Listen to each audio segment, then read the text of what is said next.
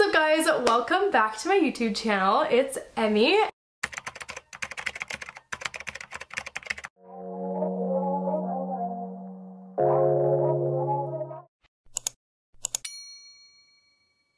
and I'm a makeup artist if you don't already know who I am and I also have alopecia. So I'm gonna be doing some new makeup videos on my channel. This is my new makeup setup as you can see. No longer a plain makeup background just the full studio. So I hope you guys enjoy and let's get into the video. So today I'm finally doing a sit down video on my story kind of like my alopecia story my come up my how I became a makeup artist, just like kind of like a little brief into my life story while I do my makeup because I feel like that's pretty on brand for me is to do my makeup while talking about a story time or whatever. So let's see how we do and let's get started. So I'm to start out with brows. I always prime with like a concealer before I put on my eyebrows because it makes them stay a lot longer and they don't smudge.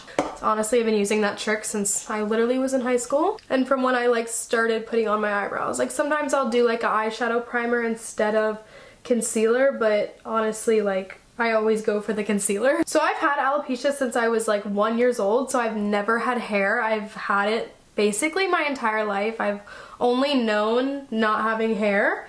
So over the years I've learned some like tricks and some tips that I'm going to give you guys about like how to do your makeup when you don't have hair, like how to do your makeup when you don't have eyebrows, eyelashes, all of that. Also, it's easier for me to do a voiceover than to like talk and do my makeup because I am not a good multitasker when it comes to doing my makeup and talking.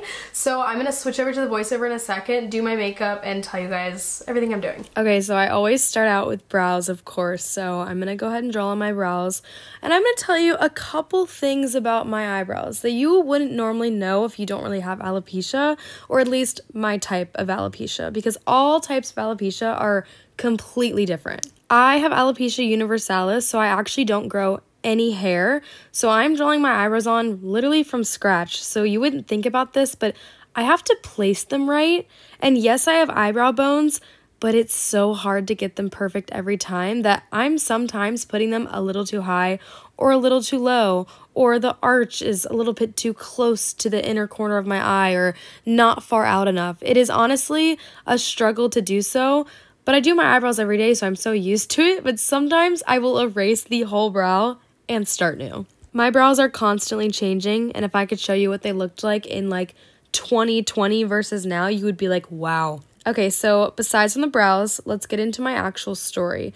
My alopecia journey has been up and down, and I've had it literally my entire life. Had alopecia since I was like one years old, and I have struggled many different ways. And I know that having alopecia can be such a struggle for people. And I try to help people feel confident in themselves and love themselves for who they are. I absolutely love having alopecia, but it took me a while to get here. And before I jump right into the story, I just want to talk about anxiety for a moment. And if you're like me, someone who's battled with anxiety for years, you know how tough it can be to have anxiety. I literally pay so close attention to my mental health, and I've seen doctors, I've been prescribed medication, but I've leaned towards the holistic methods of like helping my anxiety, and that's why I'm a strong believer of therapy especially if you're feeling anxious or depressed.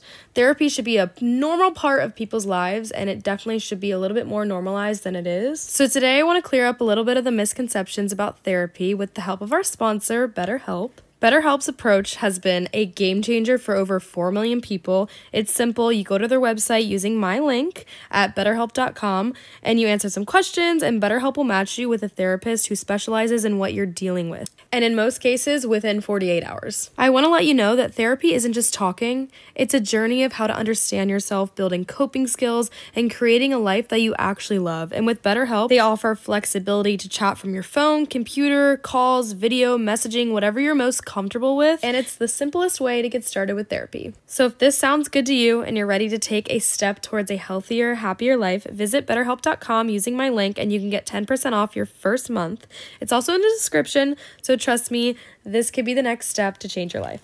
All right, so I'm gonna tell you guys some like really funny stories about what people have said to me kind of in public that you wouldn't really realize unless you were A, with me, or B, had alopecia. And you would be so surprised that people actually say these things, but like they do. Like people have no filter and they will literally come up to you and say what is on their mind. I told a story that was very similar to this one that I'm about to tell you. So it's not the same story, it's a different story, but they're so similar because this happens so often. So me and my mom, we were at IHOP and I don't even know how old I was. I might have been like 8 years old, but we were at IHOP and we were just having breakfast and this lady comes out of nowhere and she has this like card with her. It's like this like cutout card and she hands it to me and my mom and she just stands there for a second.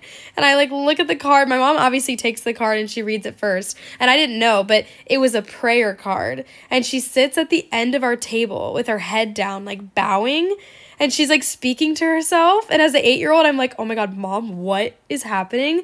What she was doing was she was praying for me because she definitely thought that i had cancer but like I we didn't know what to say because she was just bowing her head in front of our breakfast table and I was like what is going on? And I was like 8 years old so I'm like so confused. And we obviously don't want to be like rude or anything so like she finishes up and then she says like amen and then she leaves. Like she doesn't say anything else. And it was just the most odd, awkward experience. And we just went back to eating our breakfast. And then at the end, the waitress comes over and is like, by the way, your meal has been paid for. And we were like, oh my gosh. And we were like, okay, thank you. Do you know by who?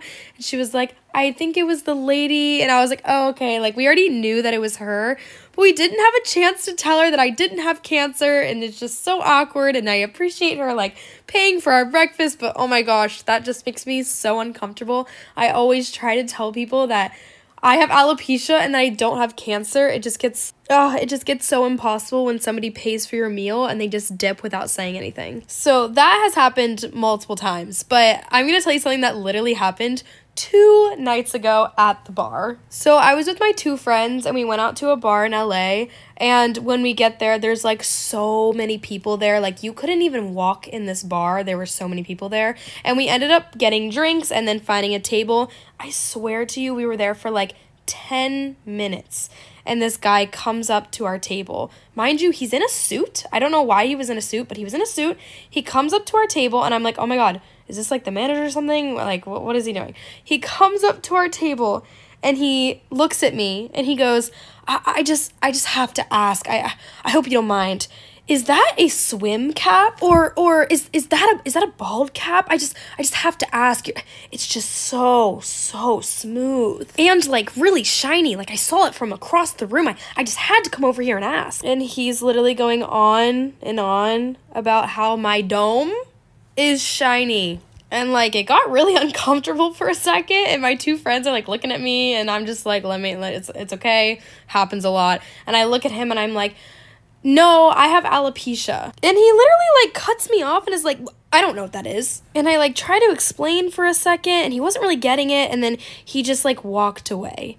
And it was just so weird. And that is literally the first time I've had someone come up to me in the middle of a bar, basically yelling. His voice is so loud and asking me if I was wearing a bald cap because my head was so shiny. I'm like, my guy, a good thing it was me because honestly, if I was somebody else and somebody who had just gotten alopecia or maybe isn't as comfortable with it or maybe is sick and maybe like does have an illness like cancer or whatever it might be, you should not be going up to someone and saying something like that. But I was like, oh my gosh, one of my friends is very like experienced and has heard people say stuff like that to me. And then the other friend, this is literally like one of our second nights hanging out at like a bar. So like I know she's never heard people like say comments like that, so I knew she was like, "Oh my god." And I was like, "Girl, it's okay. Don't worry." I'm like actually so used to it at this point. I honestly was just kind of lost at his demeanor too because he was like talking to me and kind of like motioning with his hands like